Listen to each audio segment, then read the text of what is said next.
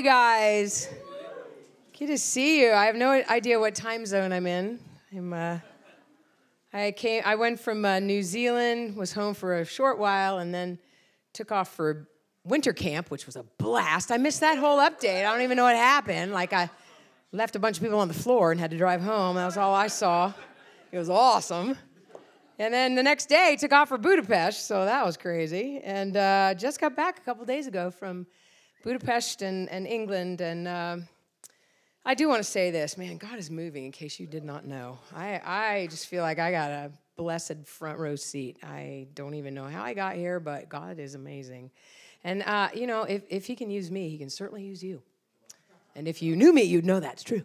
Um, and uh, let me just tell you that uh, one of the things that I felt like there was a word over this house a while back. Um, there's so much going through my mind right now. I got so many things to say. But let me say this first. Uh, a while ago, maybe a year ago, I felt like there was a, a well of revival on this church. And I actually gave that word to Francis. Um, but I feel like I, I need to share this because it has to do with that. When I was in England, um, I got invited to share at a church uh, called St. Andrew's Chorleywood, which actually uh, was Rachel Narramore's family's church for a little while, right? She, she went there. Um, but back in 1981, um, a man named John Wimber was invited there to uh, really come and introduce the Anglican Church to the Holy Spirit in uh, signs, wonders, and miracles because they had really not experienced that. And so John Wimber went and then took his associate pastor, Blaine Cook, who's a dear friend of mine. And uh, in a roundabout way, uh, how the Lord just kind of connects dots and does things. I had had a word that I shared here um, a while ago, uh, talking about a man that I passed by in a meeting a year and a half ago. And uh, really, we were just releasing prophetic words over leaders in the region, and I didn't know who he was, but I only had one word, and the word was jackpot. And it was an odd word, um, but he was very faithful and he wrote it down. And he ended up going on jackpot tours on Mount Kilimanjaro, and 37 people got saved and healed. And it was a crazy jackpot experience for Jesus. And so, anyway, for through that, uh, then he got on the plane and he landed in Dubai, and he was waiting in Dubai, and the Lord. Uh, spoke to him and said he wanted him to look for uh, openings in the Church of England. And he said, No, I'm quite happy in my uh, small church in the other side of the world. And so he said, No, I'm, I'm, happy there. And the Lord really pressed into him and said, No, I want you to do this. And there was only one job opening, and it happened to be at St. Andrew's Chorleywood, which is very odd because uh, this is just now, a year ago. And uh, this man's t- name is Tim, and he's always given me permission to share this story because it, it is the, the faithfulness of God who only gave me one word, which was jackpot. This man wrote it down, then ended up out of five tour companies, the only one that could take him was Jackpot Tours. And then he shared the gospel and he healed the sick. And then they all came to know Jesus. And that was a jackpot. But then in Dubai, when the Lord speaks to him, I'm just trying to tell you fast. Are you getting it? All right. So in Dubai, when the Lord speaks to him and he says, No, I don't want to do that, then he says, Well, if the Lord's going to give me 37 souls on, a, on Mount Kilimanjaro and he's going to save them and heal them, I'm going to do what the Lord says. So he put in his paperwork thinking nobody would give him the time of day because nobody knew him, and St. Andrews is a, is a fairly high profile church. Uh, it's well known. Um, anyway, it's, I'd find the other, the, the interesting story was the three uh, pastors they narrowed it down to were all named Tim. It's very odd, isn't it? Anyway, they hired Tim, Tim Horlock. She was shocked. And so then he said to his wife, Well, what a jackpot. This is absolutely amazing. Well, then uh, I run into him. He tells me the story a few months later, just when he starts the job. And he looks at me in this meeting that I'm in, which is in a different city, and he says, Do you think you maybe someday might want to consider coming to St. Andrews? And I thought, Yeah, totally come there. So, anyway, that's where we just got back from. Um, and I want to say this if you're not praying, please start. Because here's what I saw the Lord told me that the wells of revival were strong in that region. And I didn't know anything about St. Andrews. I just knew that the Holy Spirit had visited in a big way in the 80s. I mean, it was nuts what was happening there. Um, and it isn't that the Holy Spirit doesn't visit today, but not in the same manifestations of great miracles uh, are they seeing until last week. Uh, I'm, I'm nobody, honestly. I'm a daughter of the king. I know that, but I will just tell you, I'm not qualified I just said yes. Just like Tim said yes, and then he got the job. Maybe you should try saying yes. to those risky things. It's so when I went there, here's what I discovered. There were a bunch of white-haired people in this church. There were a lot of other kinds of people, but there was a lot of white-haired people. And while I was standing in the pulpit the very first night thinking, "What am I doing here in this church, Lord?" And he said, "You are here to bless the pillars." And I was like, "Well, who are those people?" He said, "All those white-haired people you see sitting out there. They have prayed this right back in."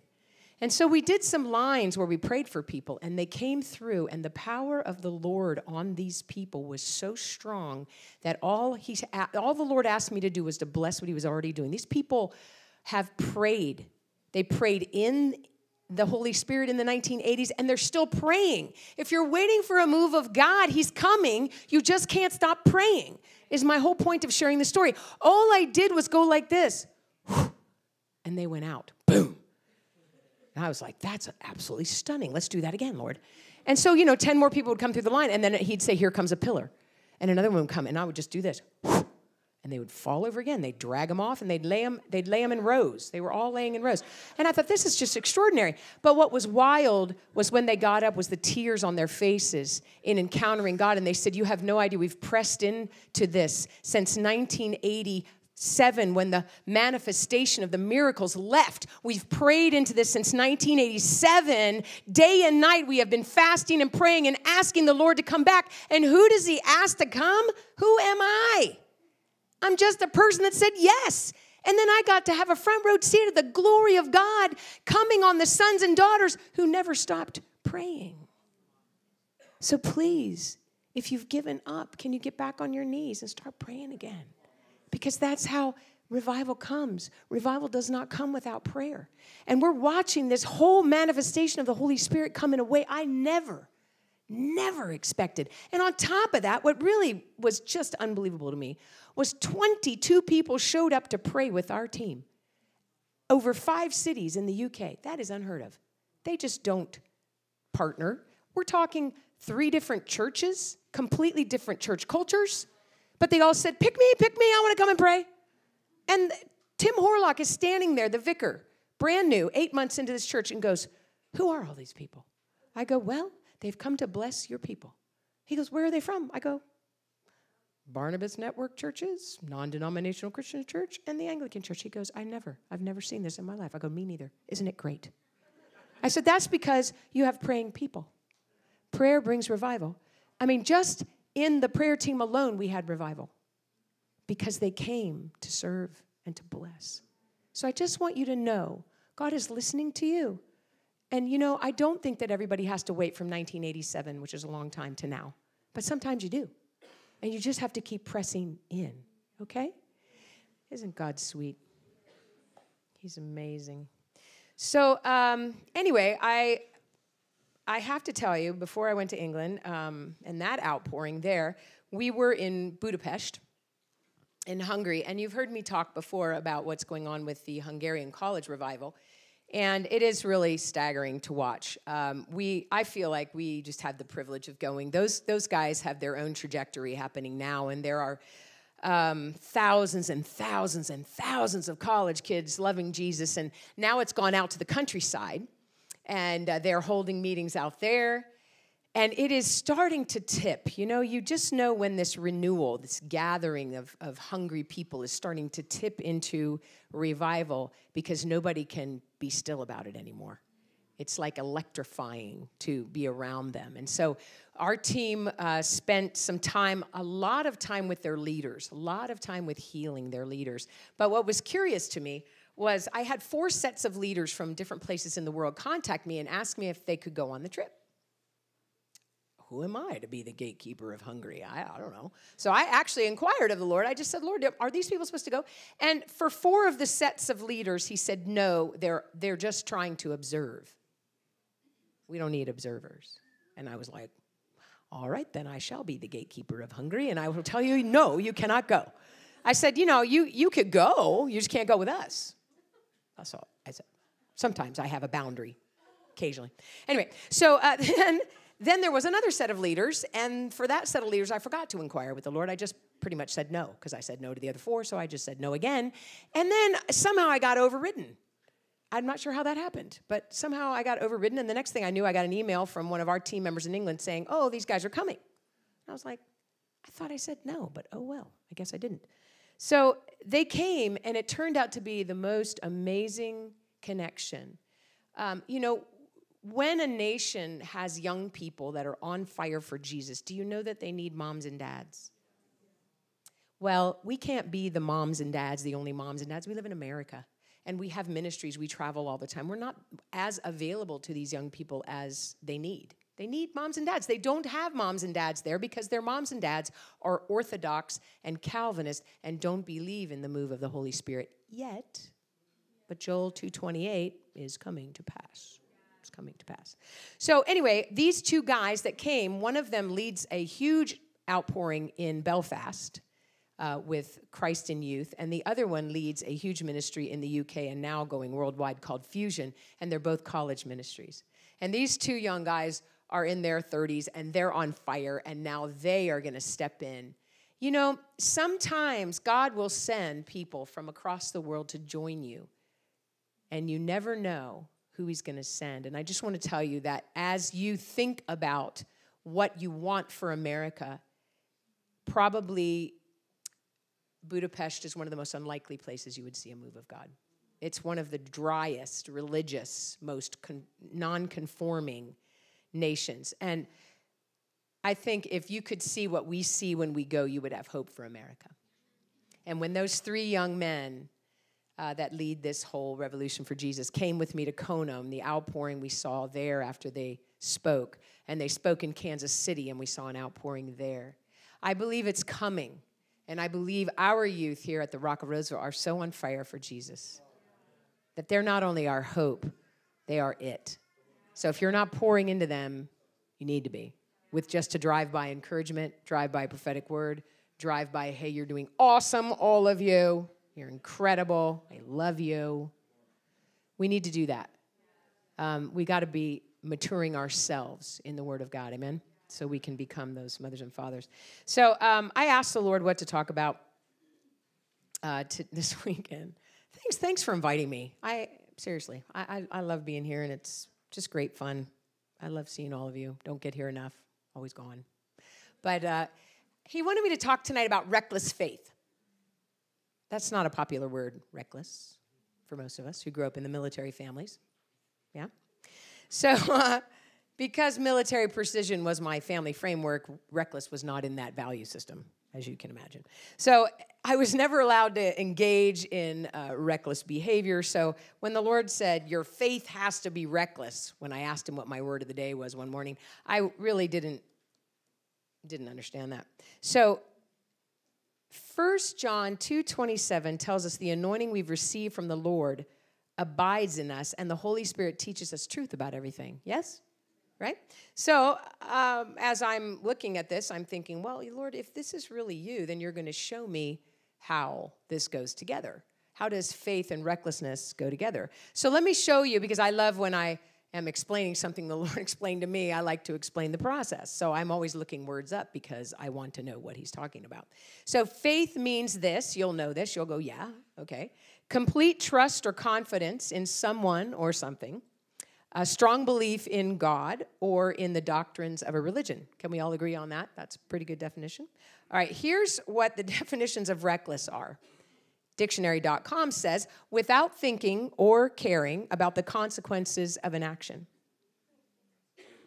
Okay, I don't get how that fits in right yet while I'm looking at this with, with the Lord. Then Merriam Webster says, marked by lack of proper caution, careless of consequences. That doesn't really fit with faith either to me. And then we look at the definition we use for kids. That's so irresponsible. That's the one I heard when I was growing up. Every kid, that's so reckless. How irresponsible of you. But then the Lord pressed into me. He's like, You don't get it. And I'm like, Clearly, I don't. It's, I'll see how this goes together. As I started to look at the synonyms of reckless, here's what I found. This intrigued me impulsive, audacious, now you are like, okay, I can almost buy this, maybe. Daring, courageous, fearless, right? Advent, over adventurous. Come on. Don't you want to be over adventurous with Jesus? Yeah. Impetuous, maybe. Reckless, faith as influenced in our Christian doctrine might sound something like this. So, this is what I get dictated by. I just wrote it down. And I, I think we have the slide of this. So, it might sound like this If you're going to live with reckless faith and be a Christian, it would look like this living without cultural or religiously influenced caution by taking bold, daring, fearless, Holy Spirit inspired, loving action to do what Jesus said I would do, regardless of the consequences to me. Shall we read it again together? Isn't God great? I can't think that fast, so you know. Here we go living without cultural or religiously influenced caution by taking bold, daring, fearless, Holy Spirit inspired, loving action to do what Jesus said I would do, regardless of the consequences to me. Now, that's not just for five of us. That's not the agape freedom fighters. It's all of you. We'll be selling those tattoos in the lobby. All right, so I want to go through some scriptures today to say reckless faith, the risk, the risk required for reckless faith is what you're created for. It's what I'm created for. Reckless faith is what Jesus modeled and paid for on the cross, right? But you can't have reckless faith because it's only born through intimacy with the Father. And it's the inheritance of Christ in us intimacy first, risk second. And the third thing is that reckless faith is absolutely necessary for signs and wonders and miracles. No risk, no reckless faith, you're not going to see it. You're not going to see it. So, number one, reckless faith, this risk is what we're created for. Without faith, we know it's impossible to what? To please God. Hebrews 11, 6. Faith without works is what? Dead. James 2, 14 and 16. So reckless faith is the opposite of cautious Christianity. I can't stand cautious Christianity. Not even in myself, really. I just can't stand it. What are we waiting for, people? You already have the holy invitation. You're just sitting there waiting for it just to, hmm. You know, it's just not going to fall in your lap. You have to get off the couch. Get off the couch. All right, so the Old Testament, I kind of want to walk through that with you a little bit and show you some of these reckless faith people. Don't you have trouble just praying for somebody in the Starbucks? Well, then when we look at the Old Testament, you're going to go, ah, okay, Lord, I'll pray for the person ordering the flat white. Okay. So, Old Testament examples involve men and women who chose to act in faith in the middle of violent circumstances. It's not violent in the Starbucks, but you just, what if I'm wrong? What if you are? Who cares? They'll be blessed. Just don't be weird. Just don't be weird. Some of you need to take a lesson in that. Probably me, me first. Okay, sometimes in the Old Testament, their immediate action was to carry out unpleasant, distressing directions from heaven. God's not asking you to carry out unpleasant, distressing messages from heaven. He's just saying, hey, that guy's ankle's sore. Why don't you just pray for it? Okay, you're not an Old Testament prophet. You're not the gloom and doomer. Just pray for the ankle and move on. Okay, they, they are bringing this heavy stuff toward cowardly, cowardly people and this impending evil on all sides. And here we are, like, we can't do it, Lord. Just can't. Can't. Got to get my groceries. I can't. I, nope. Can't do it. It takes two minutes. Two minutes. I'm going to show you an amazing story in just in just a few minutes of somebody who was just transformed from a number one scoffer to, Are you kidding me? This stuff's legit. Oh my gosh. And then you couldn't keep him contained. And I will tell you his story that transpired in a 28 hour period because God can do that. All right, so let's look. You don't have to turn in your Bible unless you want to. I'm just going to paraphrase for time's sake. But look at Joshua and Caleb in Numbers chapter I think just the whole chapter of 13 and 14. Let me just summarize. So, this is the part where 12 men are sent to explore the land, and the Lord was giving this land to the people of Israel. So, the 12 men are sent to explore the land, but 10 of them cowered. And then they invented a connection of people they saw there to the giants, the Nephilim, and spread their opinions of fear rather than simply relaying their observations. None of us have ever done that. Never. Relaying our opinions of fear rather than simply just what's the observation. And they failed because of fear, and their emotions ran wild with panic. Anyone? Yeah? Five of us have had that happen. Nobody else. So, meanwhile, though, contrast that with what happens here with the reckless faith people. Meanwhile, Joshua and Caleb stood firm in reckless faith and they trusted the Lord at his word. At his word. They reported back their observations without any panic. I could use that sometimes without panic. God sent them and they prevailed. And then later, Caleb was singled out for having a model spirit. I love that in Numbers 14 24. And then Joshua becomes the leader we know after the death of Moses. I want you to know something God spiritually promotes the ones who continually trust him. It's true. It's true. Risk equals maturity. You want to grow up and be a mom and dad? Start risking. Start risking. All right, so then we're going to look at Joshua again in Joshua chapter 10, verses 12 and 13. So here, Joshua prays for the sun to stand still so the Israelites would defeat the Amorites. Who prays prayers like that? Do you pray prayers like that? I've never prayed prayers like that in my life till I went to Brazil. And then I went to Brazil and there were a bunch of crazy people there, and I happened to get sucked up among them. And I was like, it was storming, and we weren't going to be able to do this crusade. I was just with those crazy people in England. And I told this story to them and reminded them. And I said, you know, that night was very strange because I don't think anyone had ever prayed prayers like that. The storm was so violent, they said, we're going to have to cancel this and we're not going to be able to do this because it'll be uh, electrocution with all the wires. It was an outside crusade for thousands of people, and it was a Randy Clark thing. And so Randy came over to us and said, I think we're going to cancel the whole thing. We said, No way. We're going to pray. We are here to pray for people. So all of us go out in the pouring down rain, and the it's just black, black skies. I'm telling you, it's one of the worst storms. And we stand there. I did not lead. I was actually kind of chicken to stand out there in the thunder and lightning, but I did it anyway because all those crazy people were doing it. So I went out there and I put my hands up and I just watched them. I'm going to do what they do. So they were like, Lord, and praying like Joshua for the clouds to part. And I was like, this is going to be good because these people are not backing down. We were out there 20 minutes. I mean, it wasn't like instantly. So we're like, and all of a sudden, the clouds part. I have pictures of it. I forgot them in all of my stuff that I sent to Amanda. I forgot those.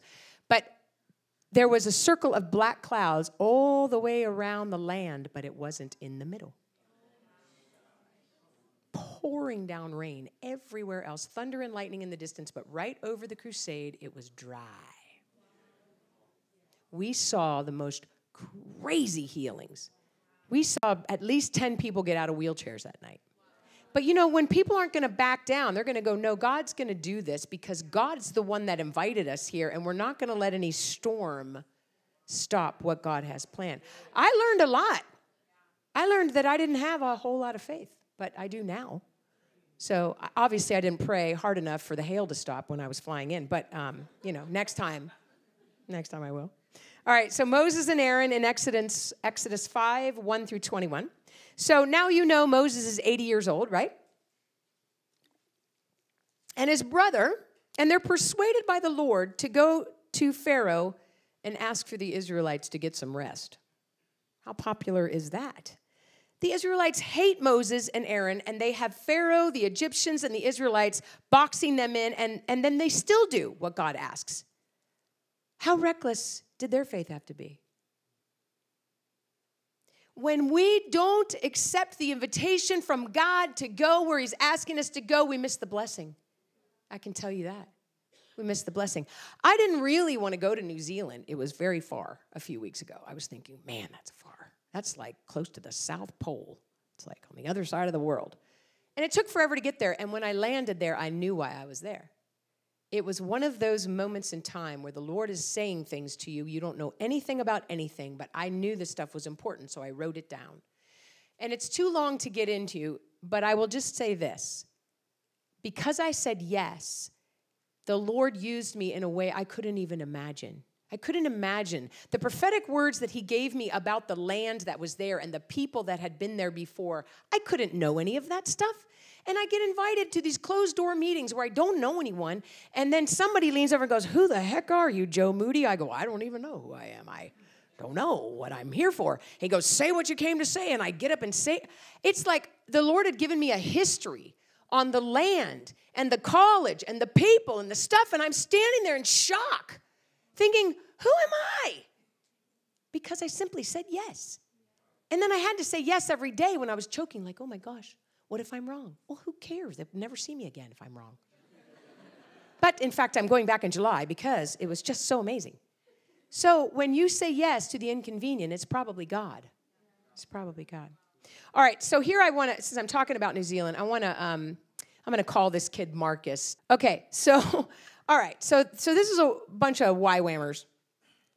I love YWAMers. They're awesome. Try not to get their faces because they, they don't like us to put their faces out there. But this kid in this HRA, HSA, whatever that shirt says there, so he's a kid from the East Coast, and he's kind of a bad boy. Uh, just don't really know much about his history, except that I ended up at a lunch table where he was sitting one day. Uh, this is my second day that I'm there.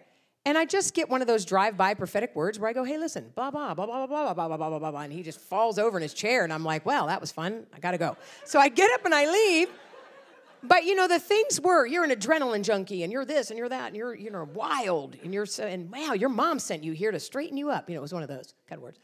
Anyway, so he was pretty much like he was the scoffer on the first day. So you get the drive-by prophetic words. So then he's kind of like, "Who are you, you weirdo old lady?" And you know all that. But then he's starting to feel the presence of God. So I taught them how to pray for the sick. So here they are in groups, and there's there's hundreds of them, and they're praying for this guy because he is an adrenaline junkie. He jumped off a cliff and he pulled his hamstring, and he had like strawberry all the way down to his leg down there, and he just could hardly he couldn't sit down. So I didn't know any of this. This is all later. So they're praying for him. Now this guy on the left is totally in trouble every single day. This kid right here with the red hair, every day. What are you doing? Hey, get up. Stop that. Quit it. So these are all, and this guy on this knees down here, these are the troublemakers. The four troublemakers in the group, right here praying for this troublemaker. I mean, all week long, I'm like, I'm ready to kill these kids. I'm just ready to kill them. What's wrong with these four? So let's go to the next slide. So they're praying for him. I'm going to call him Marcus. Okay, look at his face. Okay, there's a whole series of these pictures. They're absolutely priceless. He's like, You got to be kidding me. This kid right here with a plaid shirt on is got his hands like this. Like he's like, did I did I pray for that? And like, you don't have any pain. Like this kid's got what? If you could see his face, and he's like, huh? It's okay. Go to the next slide. Okay, this is the greatest thing. So this is him now giving a testimony. You can't believe it. I mean, he pulls up his pants all the way up here. We're like, that's a little bit too TMI. Put your pant leg down. He's showing everybody like he doesn't, and he's just lit. And this kid's over here like, you got to be kidding me. I mean, he, this is another one of the troublemakers. So these troublemakers are now in a, in a group. None of them, he's Canadian, New Jersey, you know, Canada. They're, they're not together, but now they're together because the Lord is moving. So he's given this testimony. So hold that picture right there, and then we'll go back to the other one. So I'm telling you this because this is how fast reckless faith sets in. This is like, this is over a period of a day and a half. So this kid in the middle, he is so lit by the Lord, and there's there are 22 back healings that day. 22 backs. And these kids have major medical stuff going on. And there's knees and there's crutches being thrown down. I mean, it's a wild time, okay? This kid is so enamored by the Lord, he ends up going back to his room that night or, or that afternoon to the dorm room. So that night, this same day that this is happening, I run a Q&A because I always believe in doing that with the kids because they have a million questions. So we're doing a Q&A. It's voluntary. You can come. Of course, all of the hundreds of kids are all there because they're like, I got a question. So he comes running in late. I have to give a testimony. I have to give a testimony. I'm like, hang on a second. I'm in the middle of a point. Just a minute. So I say what I'm going to say, and then come up here. Come up. So he comes up and he goes, You're never going to believe this. You're never going to believe this. I'm like, uh, I would believe it. Just go ahead. So he says, so, you know, yeah, my mom, like you were right. My mom sent me here, you know, like she's gonna straighten me out and blah, blah, and all that, and everything you said. And he goes, but, you know, my buddy and I, we got in this wreck right before I came. We, we took this golf cart and we crashed this golf cart. And my buddy broke his ankle and he's got screws and pins and he had surgery last week. And so, this crazy healing that Jesus is doing, I FaceTimed him. I'm like, great. And everybody's like this because they're like watching this kid transform right before their eyes. And he goes, So I, I said, hey, man, put the cell phone on your ankle. this kid is so gutsy. I wouldn't even think of that. So he's FaceTiming his friend Chris all the way back in New Jersey, and he goes, Put the thing on. So Chris puts the thing on his ankle, and he's going, In the name of Jesus, everything he learned. I command all this pain to leave and this ankle to be fully functional. And then he shows us video of his friend running up and down the stairs. He was in a wheelchair. Yay!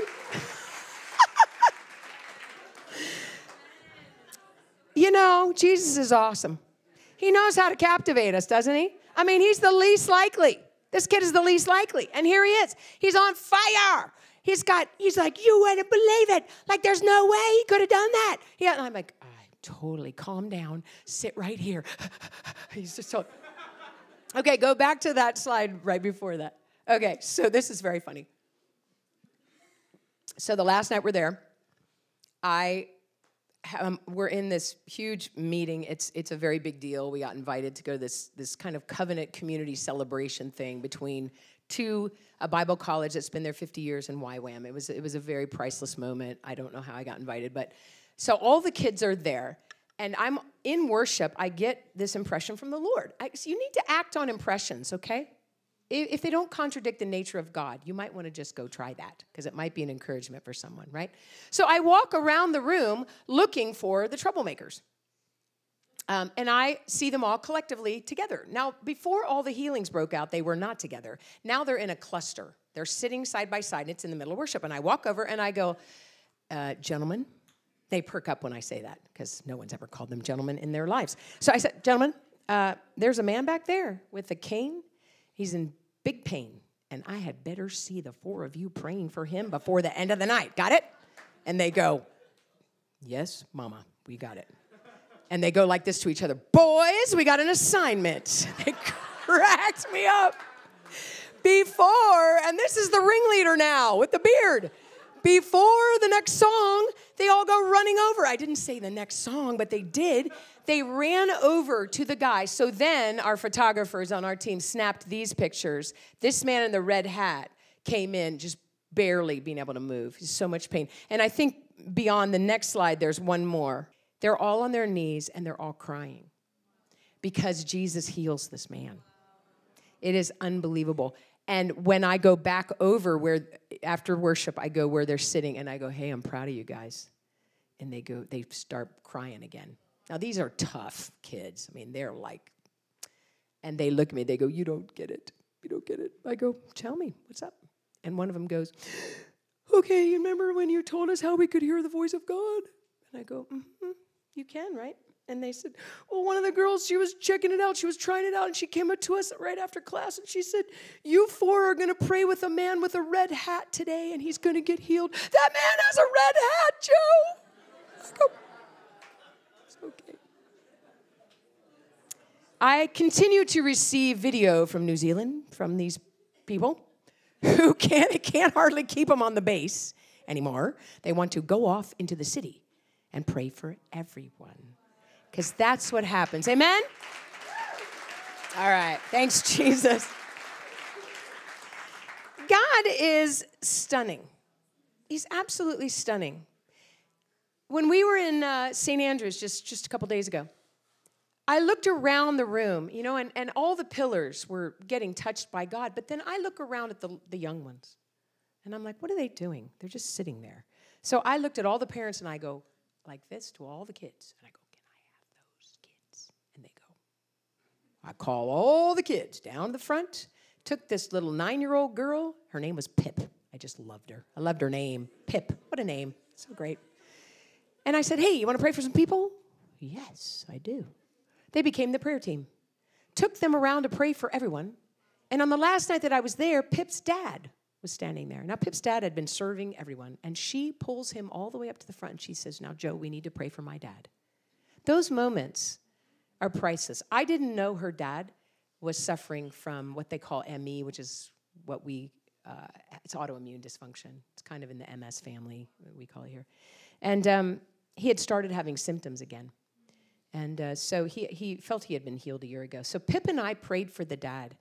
And uh, the dad had such an encounter with the Lord, and we won't know for a while whether he was healed, but we do believe he was healed. But Pip learned how to do emotional healing with her own father. It was absolutely incredible. So I've gotten some reports from St. Andrews that all the kids are on fire and that the youth leader has no idea what to do now. So I said, uh, call Michael over at St. Paul's in the next city. He's three years ahead of you with this whole youth thing, and he can help you. This is how we do things with the body of Christ. If one group gets it, you need to give it away to the next group, and you need to be encouraging to one another. Amen? All right, so let's look at Gideon, and then we're going to jump to the New Testament. There are so many heroes of faith in this.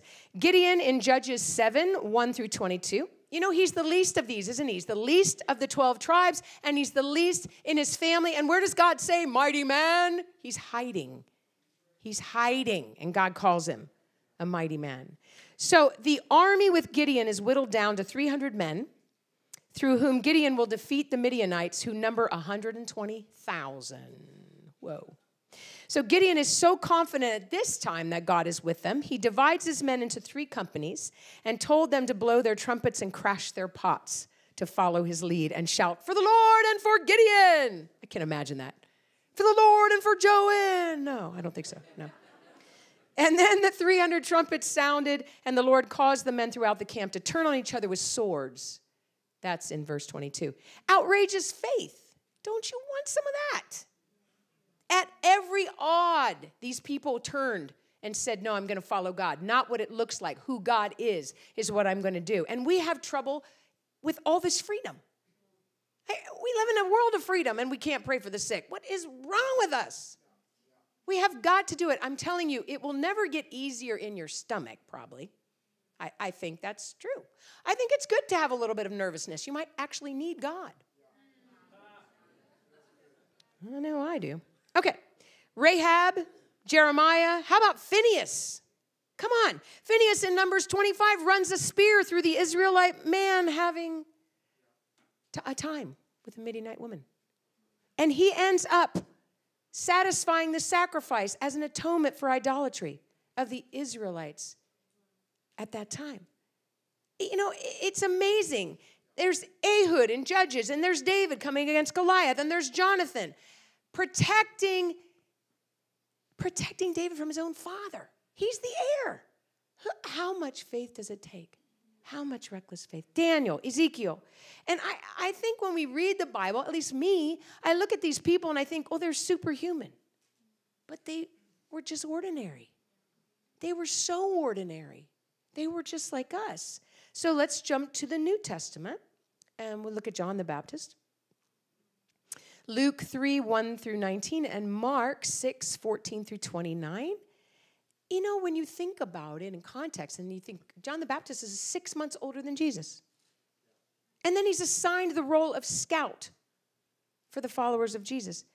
And he was so weird. He was so weird. I, I, I look at him and I think, thank you, God, that we don't have that anymore. And when he comes against King Herod, he loses his. But his ministry did what it was supposed to do. He was obedient before the Lord and he blessed the arrival of the Messiah, and that was his fulfillment of his assignment. I don't want to stand before the Lord and say, God, I missed. I missed because you invited me. And I said, no. To stay home and watch reruns of whatever lame show we all sit in front of. I want to go where the Lord is moving. Don't you want to do that? How about Jesus with the money changers? I looked at that story in a whole different light because I never really realized that the high priests are the ones who allowed Passover to be a time of making money, even for their own gain. And then when Jesus overturns the tables and undermines their earning potential. Wow, what kind of risk is that? High cost. And Jesus models continually taking a stand against religious people.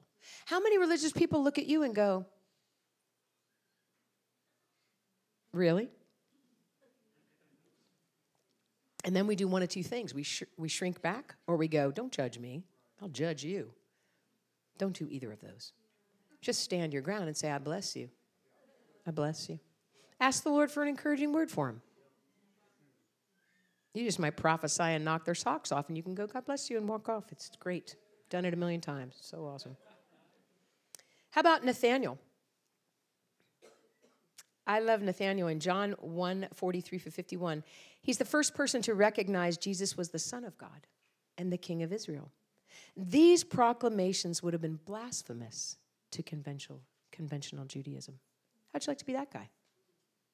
Blasphemer. And you just keep on saying it. You just keep on saying it.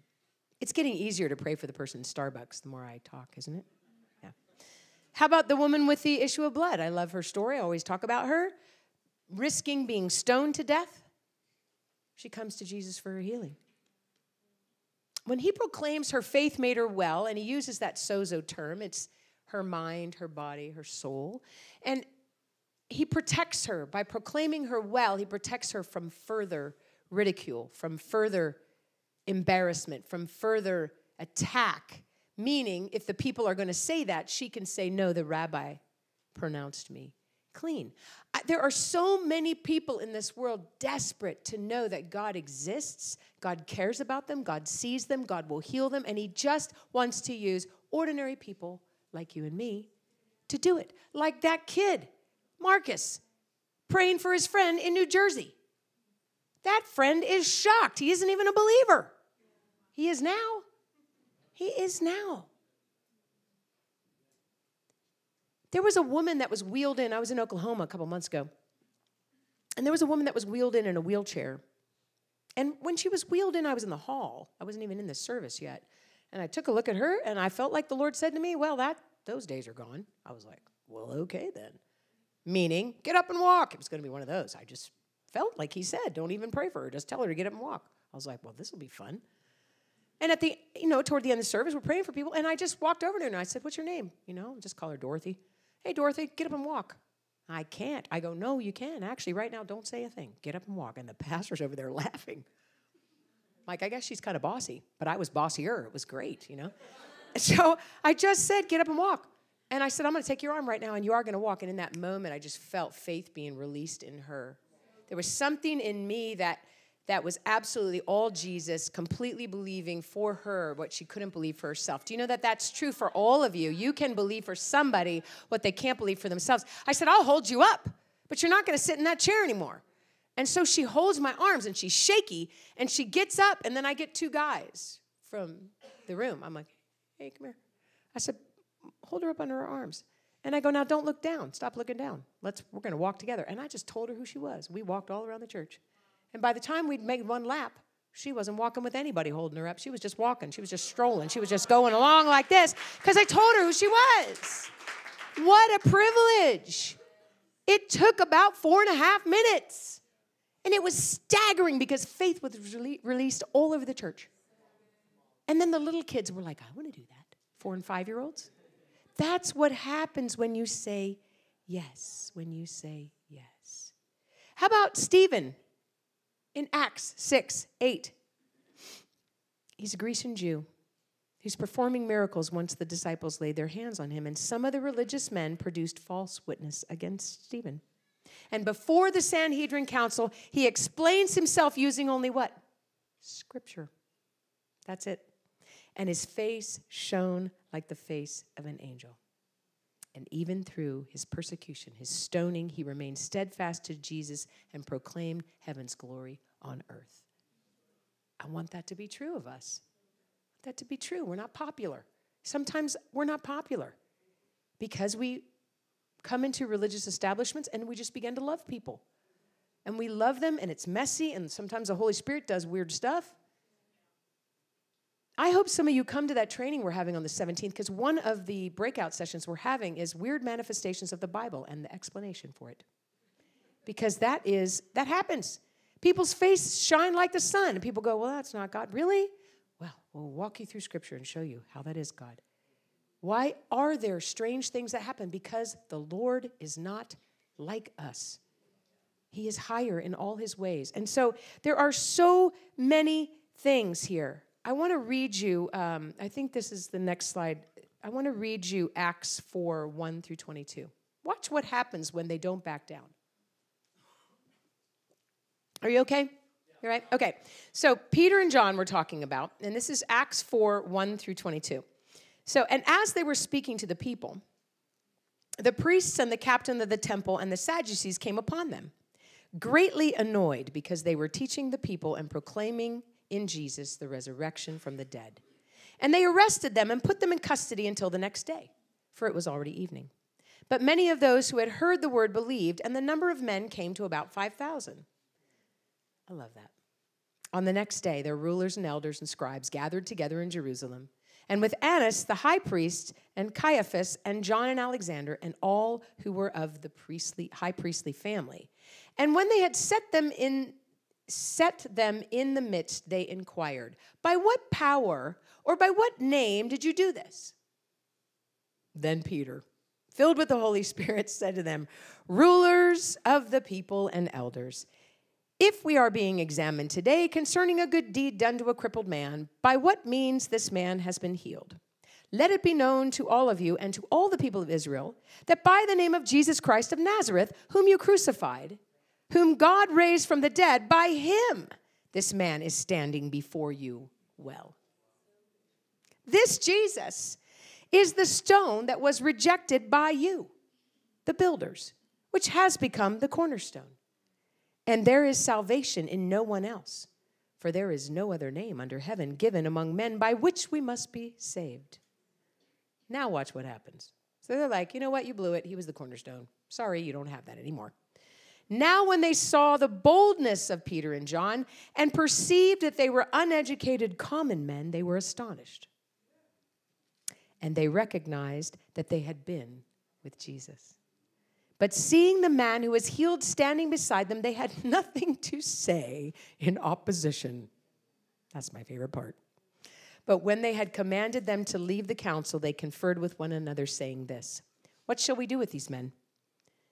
For that a notable sign has been performed through them is evident to all the inhabitants of Jerusalem, and we can't deny it.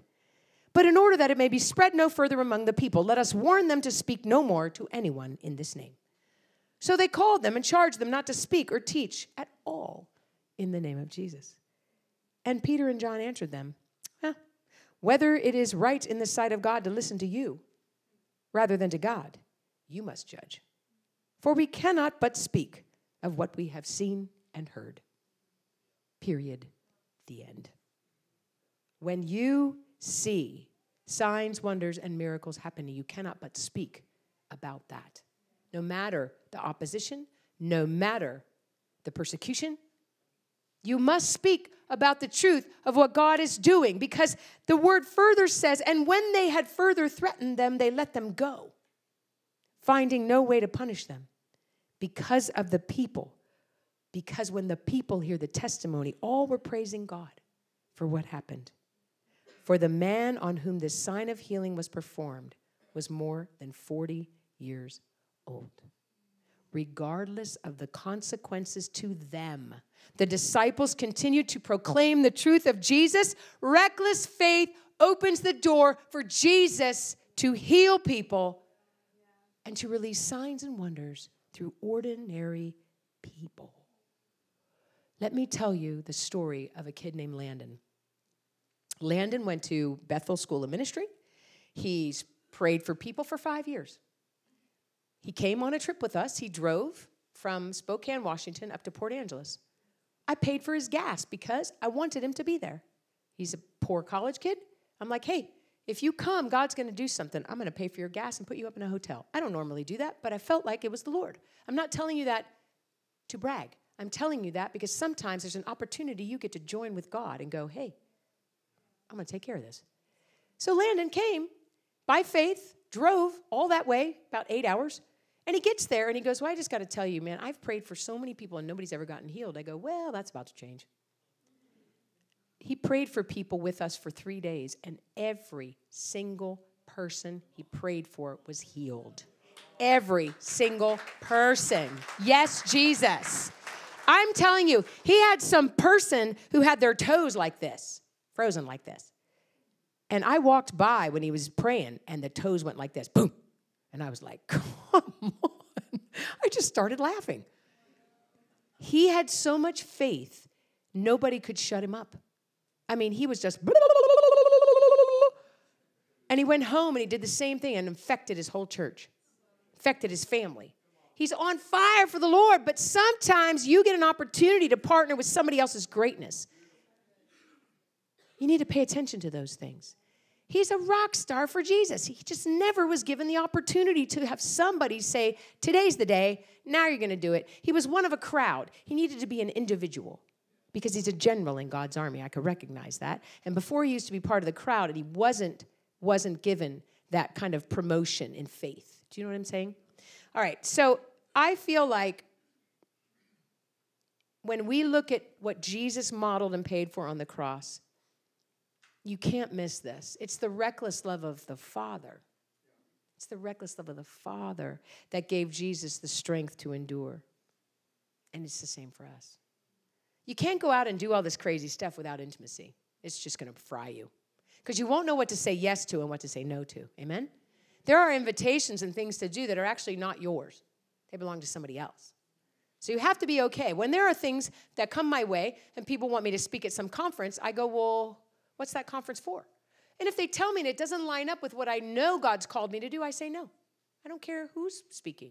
it doesn't matter to me. I only want to do what I'm supposed to do. I am called to raise up a generation. So if the generation's not going to be there, why am I there? It's just making me tired. I'm not going. So I say, Do you have young people there? Uh, well, there's three. Well, no, maybe that's not for me. But maybe it is. I don't know. You have to ask God, What's my assignment for today, Lord? What am I supposed to be about? And everything that Jesus modeled, you know, every scripture, I would write these all down if I were you. Uh, Mark 135, very early in the morning while it's still dark, Jesus gets up, left the house, and went off to a solitary place and prayed. There's a cost. There's a cost to doing these wild things. The cost is you can't be at every party, you can't be at every chat. You got to get alone with God. Jesus often withdrew to lonely places and prayed. Luke 5, 15 and 16, and Mark 1, 45. Here's why. I, I really believe this with my whole heart because I've had to learn this the hard way. To be with our Heavenly Father in intimacy is where our identity is assured. This is where we draw on to receive the fullness of Christ in us, all of the love and the power and the authority. If you don't do that, you will start to depend on what other people have to say about you. And that will fry you. Because there's a lot of people that don't like what we do. And there's a lot of people that love what we do for the wrong thing, wrong reasons. There's a lot of weirdness out there, and you have to stay focused. So when you look at after, after everything was done, after Jesus had dismissed the crowds, he then still went back to the mountainside by himself to pray. And when evening came, he's still up there alone. They serve great cheese in England. I got to tell you, just great cheese. I, there's a segue here. I know you guys are like, what is she talking about? Every night after we get done ministering, there are plates of cheese. I love cheese. I love it so much they gave me like this five pound brick to take home to my husband, and I forgot it. I know, very sad. But every night, it's like a party after the party. And every night, I couldn't go because I need to go back to be with God. Excuse me. Thank you. Being with the Lord to just say thanks, Papa, for what you just did. I don't have to be religious. I just know I want to be with Him. He just did something so extraordinary. And so I can eat cheese two nights. I don't have to eat cheese every night. I can go up to my room and be with the one that I love who did all that stuff for me. You don't have to miss life But you do have to miss some things if you really want to hear what's on the Lord's heart for the day. All right. Let me give you a couple of things. When you are wanting to do what Jesus has asked you to do, number one, you have to walk fearlessly. The Bible says, do not fear 365 times. Not lost on you, is it? At all? One for every day. 40 verses of scripture on fear. It's a, it permeates our young people, permeates our culture. Joshua 1 9. Do not fear, be strong and courageous. I have I've commanded you that. Do not be afraid, do not be discouraged. Number 2, when you choose the Father's presence, so all of this framework is choosing God first, choosing the Father's presence above everything else. When you do that, you can speak the truth of the Father's will, doing only what He says and only what He is doing, regardless of the consequences. The big risk. The big risk. His will above everything else. Let me say this. When Jesus waited four days to raise Lazarus from the dead, we all look at that story and go, What is that about? I'm just going to put this out there because I read it and I was like, Well, that's kind of weird. But without the Father's direction, Jesus might have rushed right there. He might have. He might have. Glory was revealed in greater measure because of the wait. Man, we don't want to hear that, do we? My, my wait for my healing was 14 and a half years. Nobody wanted to wait less than me. But here we are on this side of it. I'm going, come on, Lord. Would it have been this impactful if it hadn't been 14 and a half years and 13 surgeries? Maybe not. Maybe a book wouldn't have been written. Maybe I wouldn't be doing what I'm doing. I don't know. All I can say is God works everything together for good for those who are called according to his good purposes. Amen? So Jesus said Lazarus died to reveal the glory of God. That's what he said. It's very interesting because I think that when I had my near death experience in France, I believe that was for the glory of God. I believe my healing was for the glory of God. I believe all of this time and space and everything that I'm doing now is for God's glory. I could stay home and say no. God's not going to love me less, but boy, would I miss the fun. So I believe God's inviting you into his party. When you choose the Father's presence, it opens you up to be the hands and feet and voice of Jesus in situations where people cut themselves off. We got to pray for a woman in Brazil who was blind. And I, I said, God, I just want to pray for this woman myself, nobody else, because that's kind of how I am sometimes. I just said, I've never seen a blind person get healed when I pray. Other people have prayed, but I just want to pray by myself. So I prayed for the woman by myself, and she started screaming in Portuguese Somebody turn the light on, somebody turn the light on, somebody turn the light on, on this side, in this eye. She had gone blind after seeing her brother murdered. So, after leading her through emotional healing and the removal of trauma, is when the sight began to come back. And that's how good God is. I said before I left for Brazil last year, I want to see a blind person regain their sight. Father, I just want to see that. I want to see you do that. I want to give you glory in that way. That's not selfish. I want that for that person. And so, these radical situations where people cut themselves off, you will be the catalyst for their healing if you say yes. If you say yes. All right, I want to show you where people are the hands and feet of Jesus in some of the worst places where people won't go. Um, will you show those slides? This is Rio de Janeiro. There's your Kathy Gove. This guy was a heroin addict, and um, he just got clean. And he came to the church, and he served on this team building uh, a home in in the favela in the slums there, where there's no running water and no electricity. There's no nothing there. It's just a hovel and uh, he was just so broken. He'd never done anything like this in his life. And Kathy just holding him. I mean, he'd been working. They'd been working for days straight. They smelled not awesome. And uh, there's Kathy just holding on to him. You can go to the next one. We are praying with a pastor there for this land. This whole strip, this whole area is prostitution and, and uh, gambling and drugs. And, and we're praying. His church is here, right smack in the middle of all this.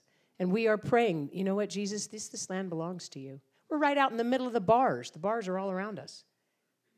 Saying yes to Jesus will cause you to do radical things like this. Okay, go to the next one. Radical faith is choosing to just say yes. Reckless faith, just say yes and pray for the one in front of you every time. Can you go to the next one? So, this is the home they built. And the homes normally look like this one. There's no roof on that one, and it's just open. There's no doors, there's no windows, there's no plumbing, there's no electricity, there's no bathrooms. And generations are growing up like this. And their parents are alcoholics and prostitutes, and they're uneducated. And it was only four years ago that the government of Brazil started to make children go to school. So these children are now going to school that live in the favela, and they're actually being tutored by the people in the church because their parents are illiterate. So you can make a difference in the lives of one person, but you have to have reckless faith. I think there's one more slide. Yeah, so this is what they typically they live in. If there's even this kind of wall, which is which is brick. All right, number 4. Choosing the Father's presence first allows us to be abandoned for God, wholly surrendered without restraint, and at peace with what will happen next. The peace of God that transcends all understanding can be yours in the midst of fire or in the midst of weight. You can always have peace. Choosing the Father's presence allows us to love those who are not very lovable or who don't return our love. Choosing the Father's love can cause you to honor people around you who do not deserve to be honored. Without a culture of honor, you will not see miracles. It doesn't happen. Choosing the Father's presence first will allow us all to forgive when forgiveness is not justifiable by the world's standards. And it always makes people wonder how that's possible. For God so loved the world, and God forgave us first 70 times 7. It doesn't mean you have to have a relationship with a toxic person. Your forgiveness and leading someone else through forgiveness is a vertical thing. It's between God and the person. Does not automatically mean that there is some reconciliation if reconciliation isn't safe. Are you getting my point?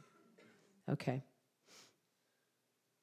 And lastly, choosing the Father's presence first changes the direction of our lives, even when it doesn't make sense. He will orchestrate the season and connect you, connect the dots. It's the craziest thing when you begin to run with God in the way that our team does, when you see the world is much smaller than we presume. That there are people connected to people that are connected to people, and you go, What in the world? How did you get over here? Right before I left for New Zealand, I did a conference in the Bay Area. 53 churches were present. That is absolutely unheard of. 53 churches, and in that meeting was Francis Chan's wife. And sh- they have 20 house churches in San Francisco. And they are very interested now in learning the biblical basis for healing. That man has changed San Francisco, the whole Tenderloin district, but he had not seen this kind of unity in the region. But it's unity because people have been praying. So I go back to my point reckless faith that's necessary for signs, wonders, and miracles has to start with intercession. Intimacy and intercession. And don't we all want to do that? That should be a matter of lifestyle. So let me close with this. I could go on and on. You know, we just read the Word of God and it's so rich about the truth, the kind of faith we've been granted as believers in Christ. And it's audacious, fearless, reckless, attainable faith through the power of the Holy Spirit. But I think it's all down to hunger.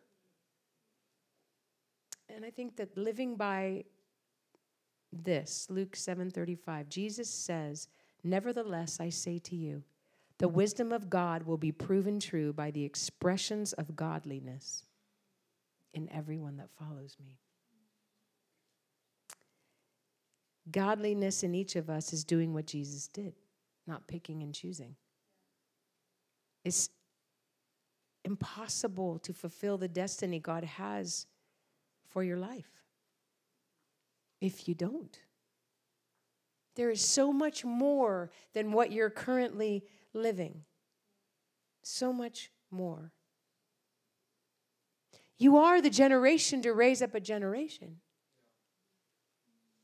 It's on you, because who's going to? A lot of the kids that come in here, their families go here, but a lot of them don't. And this is a safe house, an amazing house with amazing mature people here. We love it here.